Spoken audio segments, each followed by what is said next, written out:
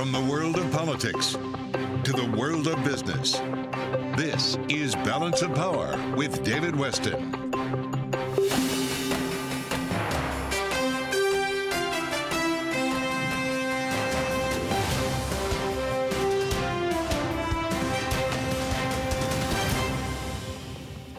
From Bloomberg World Headquarters in New York to our television and radio audiences worldwide, welcome to Balance of Power. We're going to start today with a check on the markets because they're moving, particularly the equity markets, and not in a good way, at least if you own those equities. Joining us now to take us through the markets is Bloomberg's Abigail Doolittle. So, Abigail, uh, as I say, there's a lot of red here as I'm looking at the Bloomberg. There certainly is. It's a bit of a rough day for equity longs, and this after a nice rally day yesterday. But right now we have the S&P 500 down 2.8 percent, the Nasdaq 100 down 3.6 percent, the Dow Transports down more than 5%, the worst day since June of 2020. Much of this has to do, of course, with Target. Target plunging down more than 24%. They put up a, a quarter, which is very interesting because consumer demand was there. They beat sales, but earnings, a massive miss on operating margins really coming in. So, this conversation that we've been having for months and months will companies be able to manage inflation? We now have two big box retailers telling us inflation is unmanageable. And I guess, Abigail, it's hard to know, but I'm going to ask you to speculate a little bit. Is it because sometimes that happens? You have a couple of big stocks move and it takes others with them?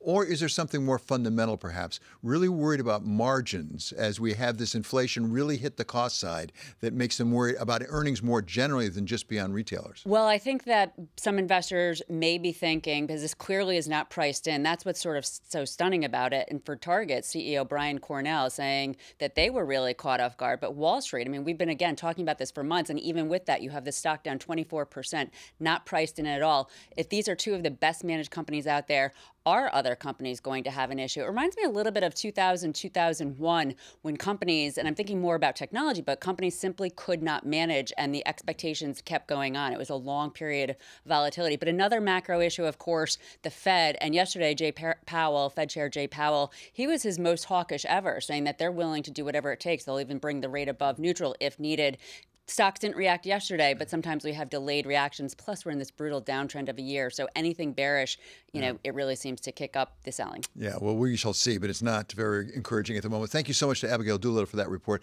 on the markets. It's not just the markets where there's drama being played out, there's also drama being played out right here in the state of New York as we have last minute redistricting efforts that are really throwing things up in a turmoil. And we're going to welcome now Democratic Representative Hakeem Jeffries of New York. Congressman Jeffries serves as the chair of the Democratic caucus. Congressman, thank you for joining us. I want to start out with something that I saw a quote from you. We'll put the tweet up. It was for uh, for our TV audiences, but the main thing was I, I saw you said it would make Jim Crow blush. Explain what you meant by that. Well, thank you for having me on. We are in the middle of uh, a redistricting cycle, of course, which occurs every 10 years. And our objective from the very beginning was simply fair maps that would allow the people of New York State the ability to choose the representative of their choice over the next 10 years to represent them in Congress for such an important time as this. Unfortunately, as a result of a flawed process that was put forth by the New York State Court of Appeals, uh, we were stuck with a special master and a judicial overseer based in Steuben County who have conducted uh, a process with respect to these maps that have left out the voices of downstate New Yorkers generally and specifically communities of color. As a result, the draft map that was released on Monday degraded the Black population in four different congressional districts. The one represented by Greg Meeks, the one represented by Yvette Clarke, the one represented by Jamal Bowman, and the one that I currently represent anchored in central Brooklyn. It also degraded the Latino population uh, in the district currently represented by Congresswoman Nydia Velázquez, removing many neighborhoods that she has represented ably for 30 years. That's just the beginning, David, and it's highly problematic. So, Congressman, I can attest to the fact that there's a lot of confusion right now. A lot of us are scurrying to figure out what district we'd be in under these new maps. But I want to come back to the Jim Crow reference because that suggests maybe there was actual racial animus. There was some intent here. Are you suggesting that? Because as you know perfectly well, the Supreme Court won't touch it if there's gerrymandering just for politics, but they will if it's an issue of race. Well, the current standard as it relates to race in terms of uh, the Voting Rights Act, and in particular, Section 2, is not intent, but it's outcome. And what we've seen with respect to the New York maps is that the outcome is that voices of communities of color And in districts that have long been represented by either African Americans or Latino members of the House have been decimated in this map put forward by an unelected out of town special master. So I'm not in a position to comment on intent, but I certainly can comment on outcome. And the outcome is problematic here, and anyone can see it. And the tactics that were apparently used, either intentionally or unintentionally, which resulted in four Black members of Congress being put into the same district with each other Yvette Clarke and myself in Brooklyn, Jamal Bowman and Mondaire uh, Jones in uh, Westchester County. That's problematic. Splitting the Bedford Stuyvesant community, one of the most historic Black neighborhoods in America, in half when it's been part of a congressional district since 1968, when Shirley Chisholm once represented it, right. is problematic. And that's the concern. So, Congressman, if in fact there were uh, an alleged violation of Voting Rights Act of 1965, does that suggest further delays before we know what districts we're talking about? Because that then is a federal court issue, not something up to a state court. Well, it's interesting because according to the New York State Constitution, uh, the special master was supposed to do several things respect federal law, respect the Voting Rights Act, respect communities of interest, and also respect the core of existing districts, none of which has happened. And in fact, many of the good government groups have even publicly said that the special master seemed not to have followed many of these constitutional dictates according to New York state law. And so on Friday, we'll get hopefully a revised map, but we'll all have to take a look at it. And I'm certain that there will be civil rights groups who are prepared to pursue litigation if necessary. Uh, Congressman, you, of course, are a senior member of leadership in the Congress on the Democratic side. I wonder what the challenges are right now for you in leadership, because one of the situations you referred to was Mondaire Jones, uh, a black new freshman congressman, actually, from Westchester County, now pitted against actually the head of the DCCC, Sean Patrick Maloney. And there are some that are suggesting that's something of a conflict of interest to have the head of the DCCC running against another Democrat. He declared quite quickly are, is the is the leadership going to have to get involved in that and perhaps even remove uh, Mr. Maloney from his position? Well, collectively, in terms of the New York delegation, I'm confident uh, that we are going to work it all out to try to the best of our ability to avoid member on member primaries and give the voters an opportunity to elect the candidate of their choice moving forward in districts that they have historically and traditionally represented. So we're going to have to work through it uh, and see what the lines are like when revised uh, map comes out this Friday. Uh, but at the moment, what I've been encouraging everyone to do is let's make sure that our attention is focused on dealing with the flaws in the proposed map put forward by the special master. Uh, exactly when do people have to decide what they're running from? Because we had some people decide right quick which district they were going to run from.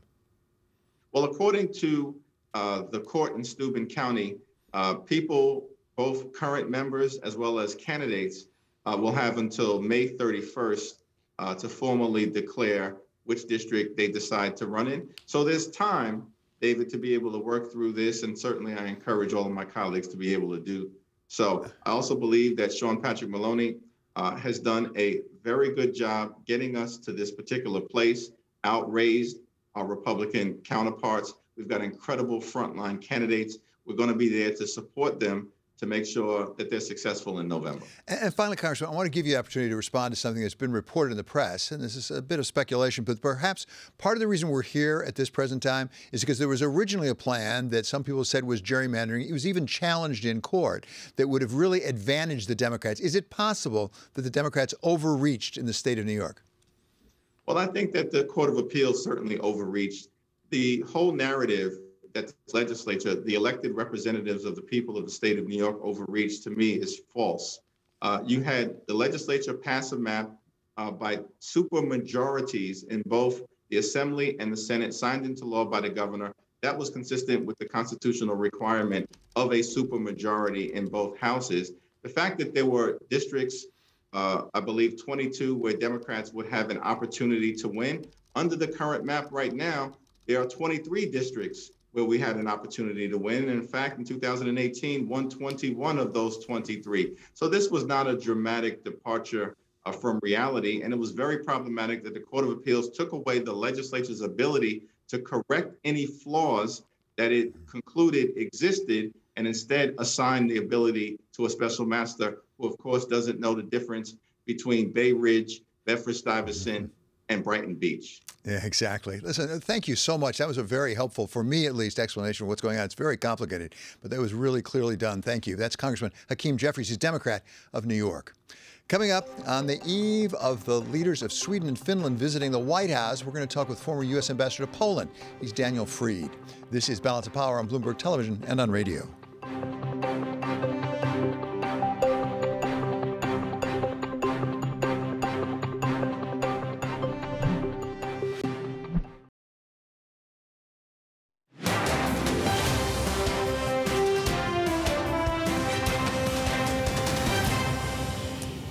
Balance of Power on Bloomberg Television and Radio. I'm David Westin. I want to keep you up to date with news from all around the world. That we turn to Mark Crumpton here with the first word. David, thank you. Finland and Sweden have made it official. They have now applied for membership in NATO, a move that reshapes Europe's defenses. The two still must overcome opposition from Turkey's President Recep Erdogan, who alleges that both countries support Kurdish militants whom Turkey sees as terrorists.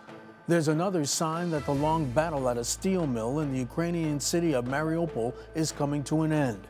Russia says that almost 1,000 Ukrainian troops have surrendered at that besieged factory. Their resistance against overwhelming odds brought them heroic status among Ukrainians. The world is no better prepared for a new pandemic than it was when COVID 19 emerged in 2019 and may actually be in a worse place given the economic toll. That's according to a panel set up by the World Health Organization to evaluate global response. Their study says a lack of progress on reforms such as international health regulations means the world is as vulnerable as ever. The U.S. Soccer Federation has become the first national governing body in the sport to promise its men's and women's team equal pay. That ends years of often acrimonious negotiations. The U.S. Federation also will pool international payments for the World Cup, so both men and women are paid equally for that competition. Global News 24 hours a day on air and on Bloomberg Quick Take, powered by more than 2,700 journalists and analysts in over 120 countries. I'm Mark Crumpton. This is Bloomberg. David? Thank you so much, Mark. Well, tomorrow, the leaders of Sweden and Finland are going to the White House to meet with President Biden, who issued a statement just today strongly supporting their request for admission to NATO, something he hopes will get through Congress relatively expeditiously. We welcome now somebody who knows Europe terribly well, has spent his career as a diplomat largely involved in Europe. He's Daniel Fried. He was a career diplomat who served as Assistant Secretary of State for Europe and also as U.S. Ambassador to Poland. So, Mr. Ambassador, thank you so much for being with us. I guess the most most basic question is what difference will it make if, in fact, Sweden and Finland are admitted to NATO? Sweden and Finland will bring military capacity to NATO. They will for, be able to foreclose Russian threats in the Baltic. Uh, they will be able to help with the defense of the Baltic states, Estonia, Latvia, Lithuania, and it will be a lesson to Putin and a lot of Russians that Putin's war against Ukraine has consequences. So it's a good thing, and I hope uh, Turkey doesn't block their membership in the end. I was just going to ask about that because that seems to be the one possible fly in the ointment, as it were, which is Turkey. President Erdogan has expressed some reservations having to deal with Kurdish separatists. Uh, how real is that, or is that a bargaining chip? Does President Erdogan maybe want something else out of us? Well, it's real to the extent that Turkey takes the PKK, the Kurdish separatist and terrorist group, seriously. Uh, so they have a case, not against Finland and Sweden, but against the PK, the PKK itself. Whether Erdogan, the Swedes, and the Finns can work out some arrangements, I can't say. But I'm fairly confident that the United States is going to support Finland and Sweden. And wherever we end up with Turkey's opposition to NATO membership for those countries, the security relationship between the United States and those countries is, go- is going to be upgraded. The That's thing, pretty much guaranteed. the thing, of course, that's triggered all of this admission to NATO uh, uh, that is likely to come is the war against Ukraine, uh, really initiated Exactly. by President Putin. Let's talk about what the allies, NATO and allies, are doing with respect to that, and specifically about an oil embargo. Much talked about. Hungary seems to be resisting it. How realistic is it to expect that Europe will have an embargo on oil from Russia? I think Europe is struggling to get a consensus and convince the Hungarians. However, my sense is that the Biden administration has is thinking about Plan B. It's important that we go out, we the West, U.S. and Europe, go after Putin's income stream. His number one export is oil. His number ex- two export is gas. He's making money for his dirty war. We need to act the United States is not simply waiting passively for the Europeans to make up their mind. They're thinking of ways that we can help the Europeans or take action so that Putin can't keep selling oil to finance his war. Let's hope the Europeans come to a solution. But it used to be the job of people like me, in my last job in government was State Department sanctions coordinator. It Used to be the our job to figure out ways around seemingly insurmountable obstacles. And I guess my question is to what end? Uh, I think it's terribly important. You would know better than I to be very specific about what the mission is. Is the mission here to defend Ukraine, to really preserve it as a sovereign state? Or is there a more profound mission here, which is actually to weaken Russia? I know that Secretary of Defense Austin triggered a lot of comment and some criticism when he said that that was a U.S. objective. But I'm on his side on this one. I think he was right. Putin has made not just one, but a couple of wars against his neighbors. That's enough. I don't want to see us defend Ukraine successfully or help Ukraine defend itself successfully, only to see that Putin rearms, rebuilds, and go, starts another war in a few years. I think we need to help the Ukrainians win, by which I mean get the Russians out of Ukraine as much of it as possible, and certainly uh, back to the line of contact before the latest offensive began in February. But it's also a perfectly legitimate objective to deprive Putin of the resources so he can start another war. You want to go through this all again in a couple of years? I don't. It doesn't mean that a diplomatic solution isn't desirable or possible. But let's not be too hurried to, to push Ukraine to give away its own territory when we know what that means for the people who live there. Yeah, for that matter, terror. for that matter, it's not clear how much leeway President Zelensky would have with his own people right now to give away territory, given the way it's gone. At the same time, I'm not aware in recent history of a lot of instances where President Putin backed down in a very public setting, confrontation such as this. Is it realistic to expect that at some point he would change his mind and say, okay, it didn't work? Or are we talking about regime change? Either. It's not a question of regime change. That's not our policy, and it shouldn't be our policy. But it's not a question of Putin changing his mind. It's a question of Putin's armies losing momentum, failing to, to gain more territory and failing to hold the territory. It's not a question of his goodwill, it's a question of reality. And right now, I'm in Poland, I'm in Warsaw. Right now, the United States, Poland, the UK, many other European countries, including Germany and France, are uh, organized in a major logistics effort to supply Ukraine with the weapons it needs to defend itself. This is a serious operation. Hmm. And the Ukrainians may succeed. That's a pretty big deal, Hmm. a pretty big success for the United States, for the West, for Ukraine, and for democracy, defending itself against tyranny, quite frankly. It doesn't mean that Ukraine will necessarily win, Right. it means they might win. And because they might win, we have a responsibility, and it is in our interests to make help them make the most of those chances. Yeah, and it's quite a change actually, because I'm not sure many of us on February 24th would have said that was possible, but now people are seriously considering it. Thank you so much, That's Mr. for Ambassador.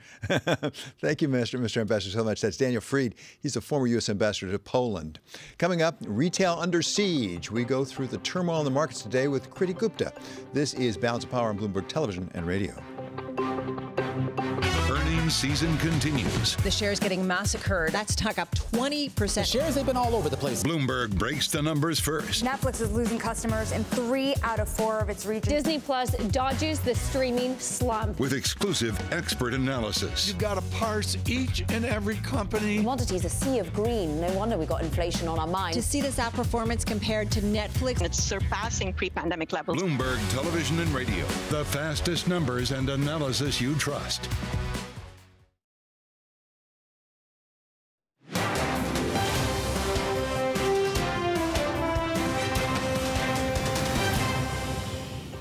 This is Balance of Power on Bloomberg Television and Radio. I'm David Westin. Well, the markets are in turmoil, particularly equity markets today, with right now the Nasdaq down over three and three quarters percent, and the S&P 500 down uh, over three percent. And it may have been triggered, perhaps, by some of the retail numbers we've seen. To explain all that to us, we welcome now Kriti Gupta. Kriti. Yeah, I mean, this is all about the consumer, but remember, stocks and futures were down before even the target results came out. But this is important as we talk about this broader move that you're seeing in terms of whether or not recession and demand destruction should be a bigger part of the conversation. Let's just dive right into the target earnings because, sure, you did see a massive miss, um, or I should say, a massive miss when it comes to their outlook. In particular, a lot of them saying that the higher margins are really going to squeeze it. But, David, what really caught my eye is higher inventories. They said what was eating into their margins was headcount and compensation, not in their stores, but in their distribution centers. For our TV audience, for our radio audience, stick with me, but for our TV audience, you're looking at a chart here that shows the inventory to sales spread for some of the major retailers Home Depot, Lowe's, Walmart,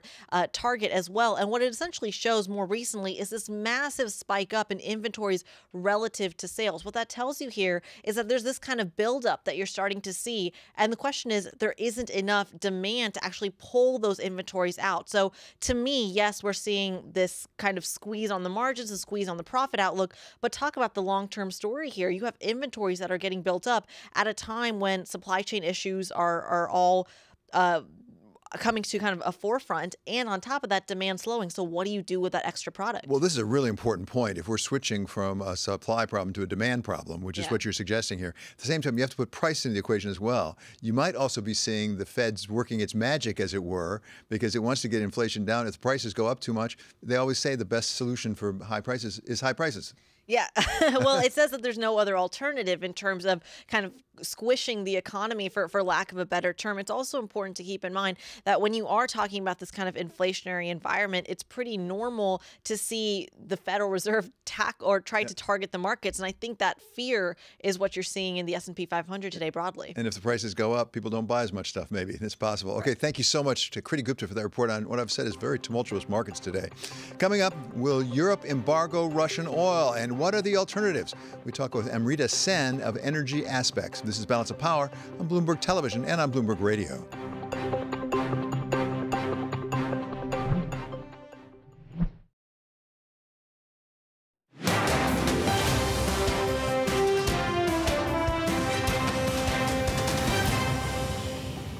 This is Balance of Power on Bloomberg Television and Radio. I'm David Westin. Well, energy remains very much at the top of the agenda as we continue to have inflated oil prices, possibilities of embargoes over in Europe, and the question of whether more capacity can come online. We welcome now a true expert in this area. She's Amrita Sen, founder of Energy aspects. So, Amrita, thanks so much for joining us. Let's start with Europe, if we could, uh, and the prospects of a possible sure. European oil embargo on Russia. Not clear that'll happen. Hungary's reluctant. But I guess my question is is there further upside risk to the price in crude right now because of what might happen with that?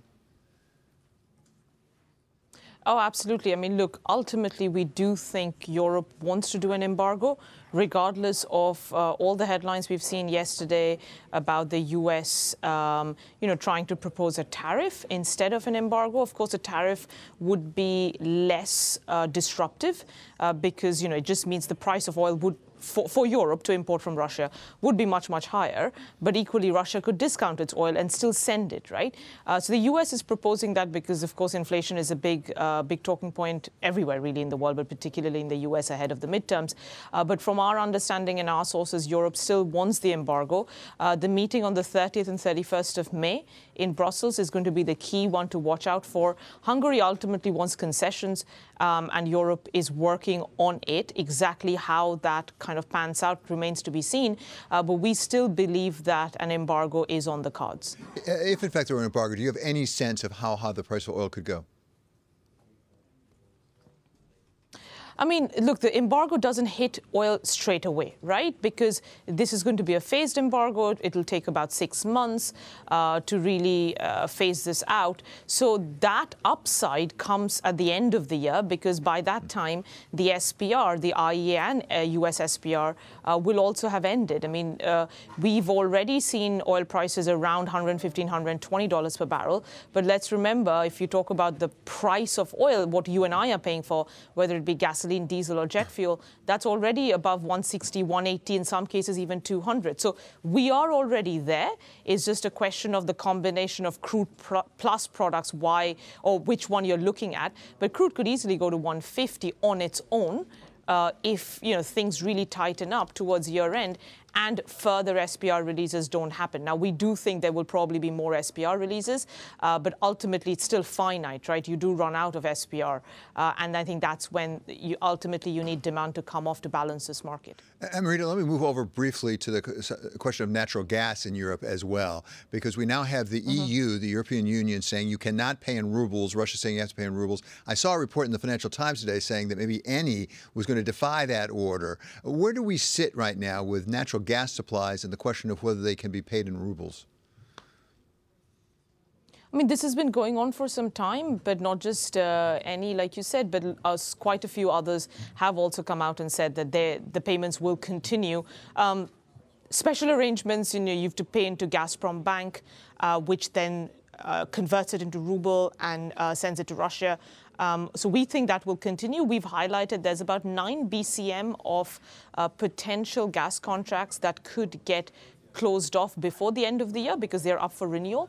But the bulk of it, like well over 30 BCM, will still continue and the payments will just take place regardless of uh, EU saying that they can't be paid in rubles. And Amrita, if in fact there's further curtailment of the purchase of oil or gas from Russia, uh, there's the natural question of, okay, where might that oil or gas come from? What substitutes are? Start with the United States. Producers here have been fairly disciplined in saying we're not going to ramp back, back up again. Do you expect that to continue, or at some point with the, the prices escalated, should we see a ramp up in U.S. production? U.S. production is rising. It's just that it's not rising by anywhere close to what it used to at, say, $100 oil. Uh, part of it is producer discipline, as we've seen, and we've just come out of earnings season. Regardless of you know prices being close to $100, guidance didn't really go up at all, barring one or two of the oil majors, and I think that is really telling. Uh, but also, I think even if they wanted to, oilfield services is the biggest constraint right now. When I was there just a few weeks ago, you could, like, even in the Midland at, at a frac site, you, you could see how short labor was, equipment, uh, steel, cement. You know, 55% of global casing is Russian steel. Uh, so I think th there's some genuine tightness in oilfield services that's perhaps being underappreciated, regardless of what happens to prices um, and capital discipline. U.S. producers will really struggle to raise production this year. Next year, they've started to place orders for rigs in advance, so things could get a little bit better. And that's where capital discipline comes in more so than this year, I'd say. And Amrita, last time I checked, the largest proven reserves were actually in Venezuela, which has largely been closed off. At the same time, there are announcements mm -hmm. now that the U.S. may be backing off on some of the sanctions, permitting more activity. Is it realistic to expect Venezuelan crude to come into the market and help some of the problem?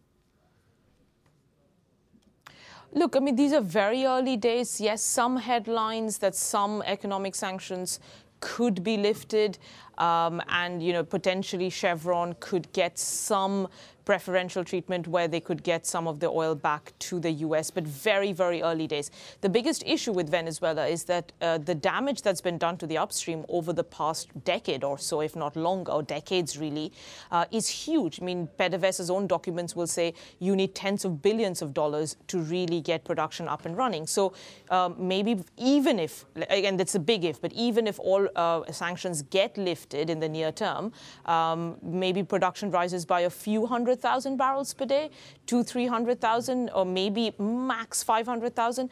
Anything more than that is going to take years, and that's the problem. And again, I repeat, we are nowhere close to being, uh, or we're nowhere close to saying that all economic sanctions or all sanctions overall, including oil, are going to get lifted. These are just small steps to see how the next kind of potential talks progress. One last one here, Amrita. We've been talking about crude oil. There, are, of course, there are the refined products, which are related but somewhat different. We've had a real constraint, as I understand it, in the capacity to refine, and as a result, you've got a real spread now of things like diesel and jet fuel. Is there any prospect yes. of increasing capacity in refining in the medium term to relieve some of that pressure? Well, like I was saying, right, crude could be 115, but diesel and jet has been closer to like $200. Uh, look, in the near term, we've obviously closed down almost 3 million barrels per day of refining capacity in the Atlantic basin uh, during COVID and even now because of ESG pressures. China's policy has changed. It doesn't export as much products as it used to, and that's why these pressures are going to stay from now on, we, we are finishing up refinery maintenance. So some of the acute pressure that we are feeling will ease off in the coming months. But fundamentally, or structurally, I should say, we are going to be short. There are some new refineries starting up in the Middle East one potentially in Nigeria and one in Mexico over the medium term, but they are going to be nowhere close to meeting the oil demand growth that we are forecasting. You really need a deep, deep recession for oil demand to decline outright, and only then will you be able to balance the market. So the ESG pressures are really hampering downstream investment and uh, you know refining right now, which is a big concern for the global economy, really. I should say. Amrita, this has been terribly helpful. Thank you so much for your time. That's Amrita Sen of Energy Aspects. Coming up, we get a recap of those primaries yesterday with our resident expert, Mark Niquette. Plus, we're going to speak with crack pollster Frank Luntz to explain what we learned about the voters in those races. This is Balance of Power on Bloomberg Television and on radio.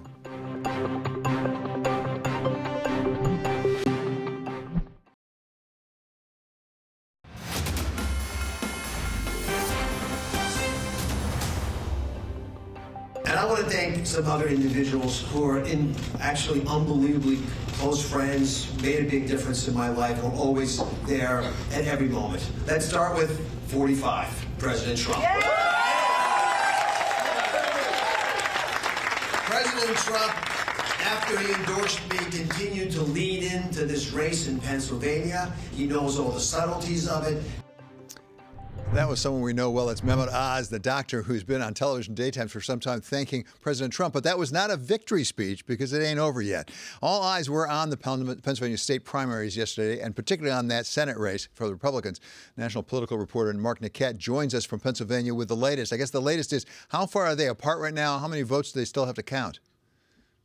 Well, last time I checked, it's about 2,500 votes separating Dr. Oz and uh, David McCormick, with uh, uh, Dr. Oz holding a slight lead. We don't know exactly how many ballots are, are still outstanding, but we're thinking it's in the 20,000 range. Um, so we're we still have a ways to go, and and Pennsylvania has an automatic recount if the margin is within a half percentage point, and we're definitely in that territory. So, Mark, uh, to jump ahead, sounds like it's going to be a while before we're likely to know the result here. Yeah, I think so. We're we're we're still dealing with uh, votes being counted from election day as well as mail-in ballots uh, that were cast for this election. Pennsylvania, unfortunately, has a law that doesn't require, doesn't allow counties to begin processing and counting mail-in ballots until 7 a.m. of election day, unlike other states like Florida, uh, that they can process their mail-in ballots ahead of time so you can get the count on election night. Pennsylvania, we have to wait, and the county boards of elections sometimes take days to count these uh, mail-in ballots. So we're going to be processing these mail-in ballots for a couple of days, I think, uh, and we might need those totals to, to get to declare a winner. Uh, so, Mark, you had Mehmet Oz against uh, Dave McCormick. On policies, I'm not sure how much of a difference there was between them. And by the way, even from Ms. Barnette, uh, who was the third runner there, uh, they all just were sort of disagreeing about how much they were with Donald Trump. They aren't necessarily centrist. In the meantime, you have John Fetterman over on the Democrat side, who has been uh, close to Bernie Sanders. Is it going to be important in the general election for somebody to try to move to the center? Yeah, I think so. Pennsylvania is still a purple state, still a swing state, um, where uh, the votes of uh, independents and centrists matter. Um, the, the, Republicans were uh, deathly afraid that uh, Kathy Barnette, the, the further right candidate uh, in that Senate primary, would get nominated because their thought would it be much harder for her to uh, defeat John Fetterman. but you're right, we're going to have kind of an interesting election in the fall, no matter what, with, with Fetterman, who's a little more progressive uh, and probably uh, Dr. Oz or, or a, a McCormick, who are maybe a little more centrist. Okay, that's our national political reporter, Mark Niquette, reporting from Pennsylvania. Thanks so much, Mark.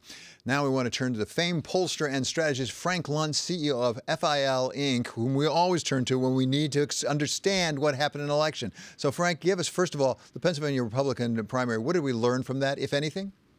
We learned that Donald Trump is still essential, that he is the number one force within the GOP. When he endorses, it has an impact. But we also saw that it doesn't necessarily carry you all the way through in every state. For example, the most Trumpian member of Congress, Madison Cawthorn, in North Carolina, lost his primary narrowly.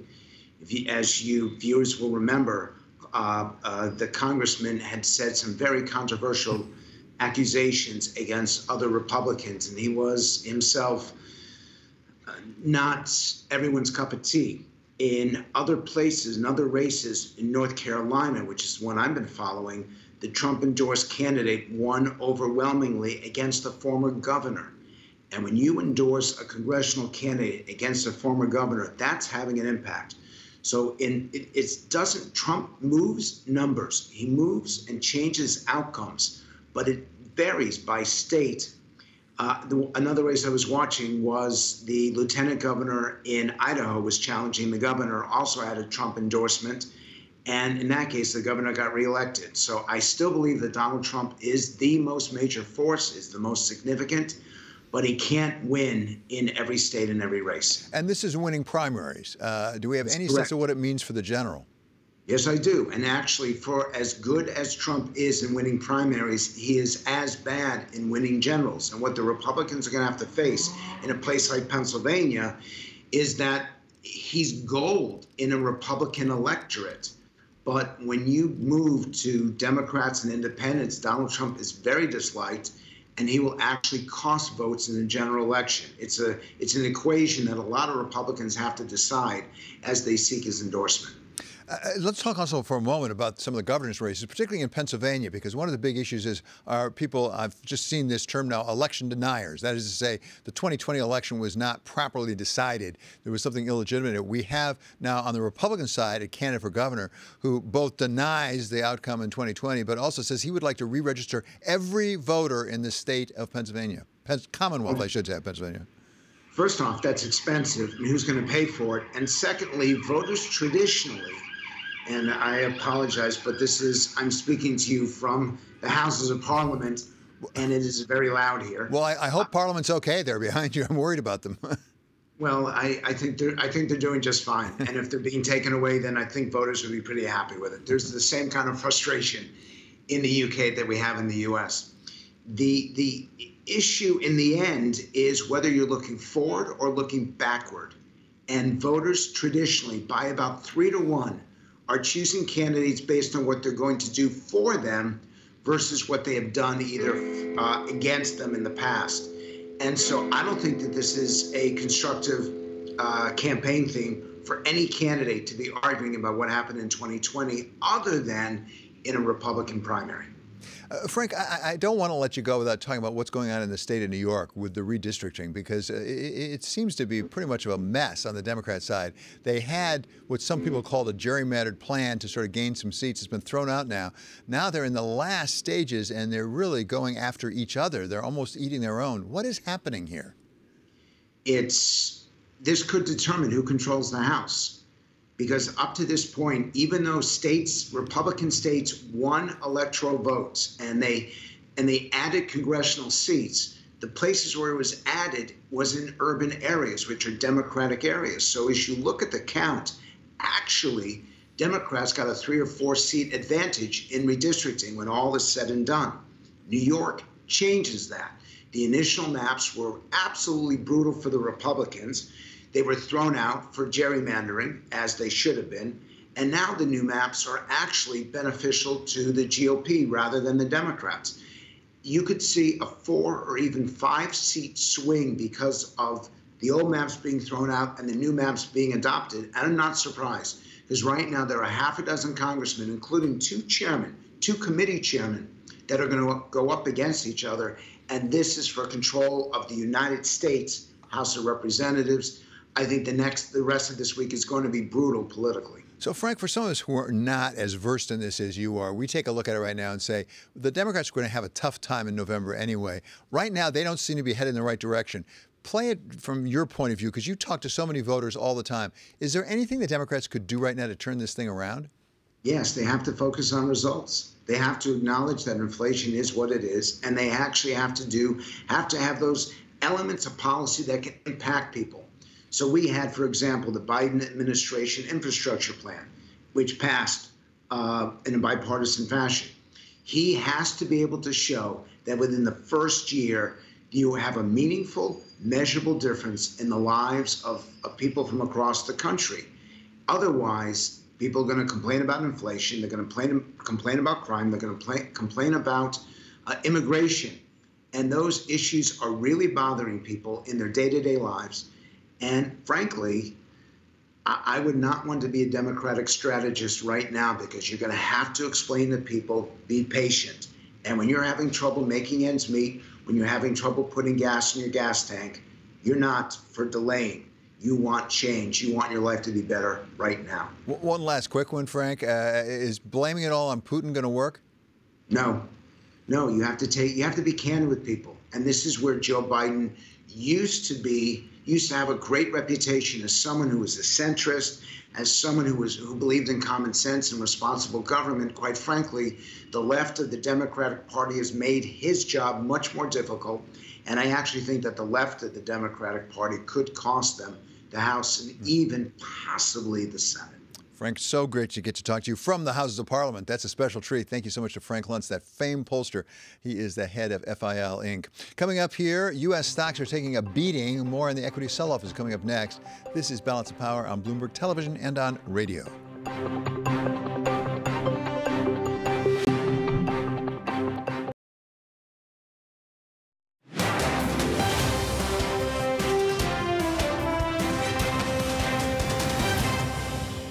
This is Balance of Power on Bloomberg Television and Radio. I'm David Westin. We're going to wrap up the program today on the markets where we started out because they are really in turmoil. We welcome back now Abigail Doolittle to bring us up to speed on what we're seeing. So where are we at the moment? We're slightly off the lows, but that means we're down 2.8% for the S&P 500. So there's still some sizable pain there for the Nasdaq 100, uh, down even more, down 3.6%, and the Dow Transports, which we mentioned before, down a little bit less than 6%. That's the worst day since June of 2020. That's the degree of the selling power, and it really has much to do with Target, with that horrible quarter relative to earnings, the big miss, the operating miss, and margins miss, and then the operating margins guide down to 6% from 8% on the year.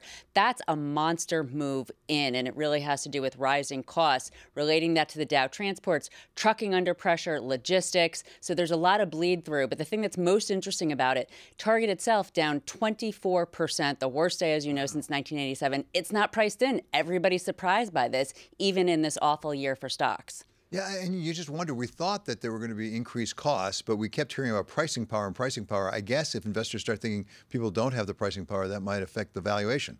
Uh, absolutely. Well, you know, because last year the question was pricing power, pricing yeah. power. When will inflation finally weigh? It didn't seem to happen. Didn't seem to happen. Maybe selectively, but now you have two of the biggest companies in the world, most well-managed companies, Walmart and Target, uh, saying that this is a big surprise and a problem. Yeah, absolutely. Is this going to be a problem for other companies?